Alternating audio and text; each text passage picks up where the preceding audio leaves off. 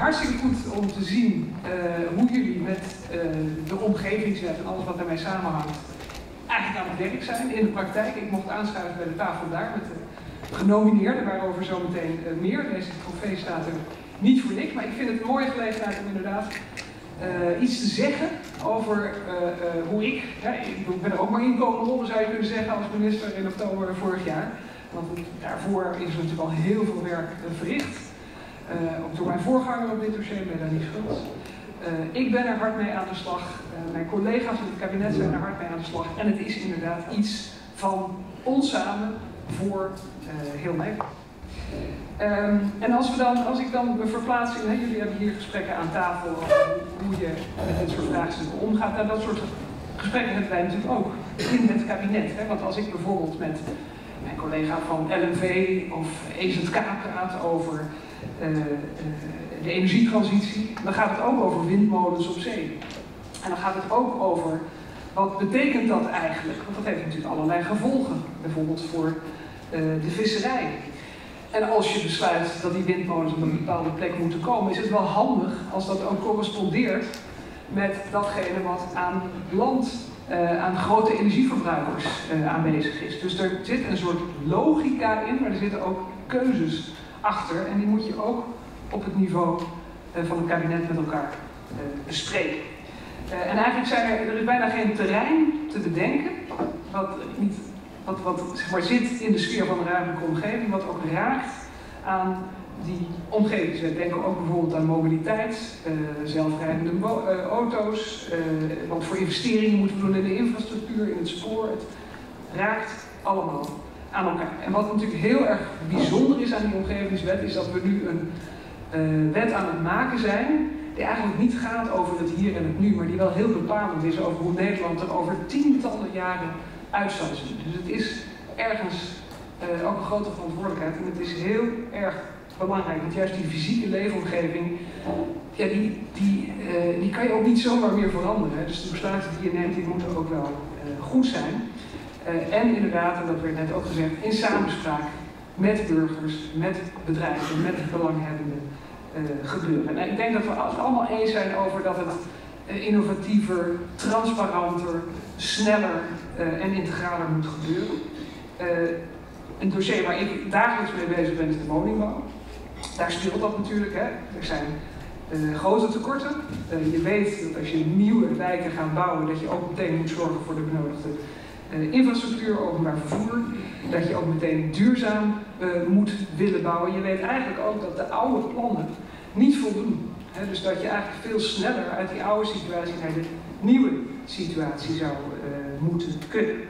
Nou, ik hoop dat dat met, ik weet eigenlijk dat het met die omgevingswet veel makkelijker wordt, maar even een paar cijfers om het te illustreren. We hebben nu 26 wetten, 60 algemene maatregelen van bestuur, uh, 75 ministeriële regelingen voor de fysieke leefomgeving. We hebben nu in ruim 20 wetten zeg maar, bestemmingsplannen, algemene maatregelen van bestuur. Uh, en die moeten allemaal opgezocht worden om te kijken of daaraan wordt voldaan. Nou, als wij uh, realiseren dat er per 1 januari 2021 één nieuwe wet is, dan heeft hij vier maatregelen van bestuur en één ministeriële regeling. Dus het is van heel veel en heel complex naar op zich heel weinig en heel integraal. Dus dat is een enorme verbeteringsslag. En het is eigenlijk ook niet een nieuwe wet op de ruimtelijke ordening. Het is een, uh, een wet waarin alle domeinen van de fysieke leefomgeving bij elkaar komen. Uh, dus we hebben dan daarna een besluitvormingsproces dat potentieel veel en veel transparanter is.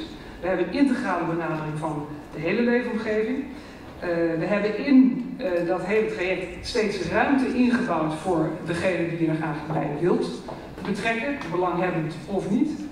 Uh, en er is veel meer ruimte natuurlijk, en dat vind ik misschien het allergrootste pluspunt ervan, voor lokale afwegingen. Dus je hebt niet meer one size fits all. Je kunt lokaal inspelen of wat lokaal nodig is, bijvoorbeeld bij die woningbouw die ik net al noemde als voorbeeld. Um, nou, wij zijn allemaal, als ik het zo mag zeggen, actief met het implementeren van uh, de wet. Ik begrijp dat 57% van de gemeenten uh, nu al bezig is met het opstellen van een omgevingsvisie. Vorig jaar was dat nog maar een kwart, hè, dus dat is een enorme stijging. Een derde van de gemeenten bereidt zich voor op een omgevingsplan. Van de provincies is, bezig met een omgevingsverordening. Uh, en 72%, sorry, 82% van de waterschappen zijn ermee bezig. Nou, er zijn al een heleboel projecten die natuurlijk lopen in het kader van uh, de crisis- en herstelwet. En 39% van de gemeenten is bezig met het bestemmingsplan uh, verbrede rijkwijd, waarmee je eigenlijk nu al vooruitlopend op de omgevingswet kunt werken alsof die omgevingswet er al was. Dus dat zijn wel heel bemoedigende cijfers, moet ik zeggen. Het kabinet heeft ook al een heleboel stappen gezet. Dus we hadden natuurlijk begin juli uh, de invoeringswet die naar de Tweede Kamer is gegaan. Uh, mijn collega's Schouten en uh, Van Veldhoven die hebben de aanvullingswet Natuur en Bodem naar de Kamer gestuurd. de AVB-akkoord gevonden door het kabinet en worden gepubliceerd. Dus ik zou zeggen, het einde is in zicht, maar misschien moet je het eigenlijk omdraaien en zeggen het is meer het begin dat in zicht is, want dit zijn allemaal noodzakelijke stappen op weg naar die nieuwe situatie. En het is ook eigenlijk een vorm van uh, bestuurlijke vernieuwing. Want het papier is altijd geduldig. Een wet is uiteindelijk papier. Maar daar gaat het eigenlijk niet om. Hè. Het gaat om hoe je uh, anders werkt. Wij allemaal als bestuurders, samen met uh, de mensen in het land die er graag bij willen betrekken. En ik denk, ik ben nu natuurlijk als minister op een aantal werkbezoeken geweest. Een van de werkbezoeken was naar Rotterdam-Zuid.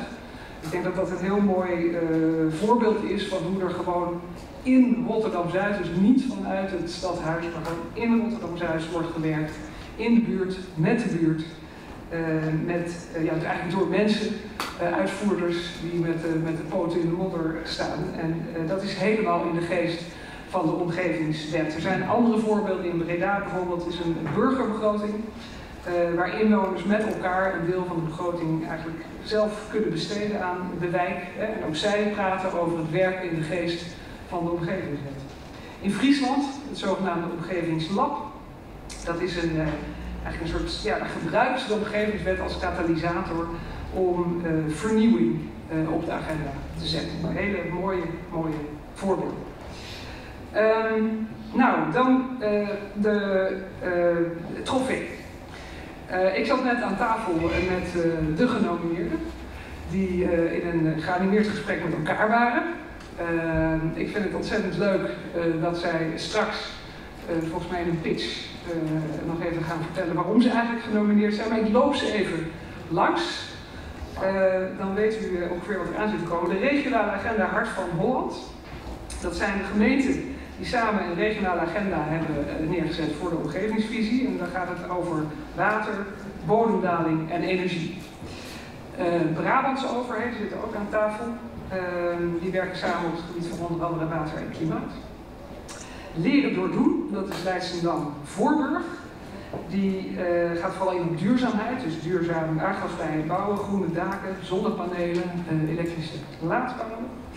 Delfts doen, Um, dat is een, een, een, een, participatiemethode die ze in Delft uh, in praktijk hebben gebracht.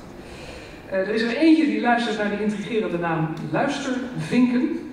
Uh, wel heel leuk, want daar gaat het natuurlijk eigenlijk vooral om dat wij niet alleen aan het zenden zijn hoe het allemaal moet, maar juist proberen op te halen aan de voorkant naar mensen luisteren. Want er werd net gezegd, het gaat over vertrouwen. Ja, als je als bestuurder je, je inwoners niet vertrouwt, waarom zouden ze jou dan vertrouwen? Hè? Dus dat luisteren is volgens mij een heel belangrijk aspect.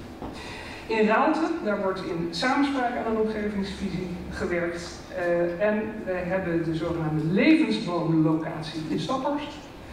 Uh, daar denkt de samenleving mee over een visie die niet alleen over de fysieke leefomgeving gaat, maar ook raakvlakken heeft met het sociale domein. Ik vind het allemaal hele mooie en ook heel inspirerende voorbeelden. We gaan zo uh, wat meer erover horen.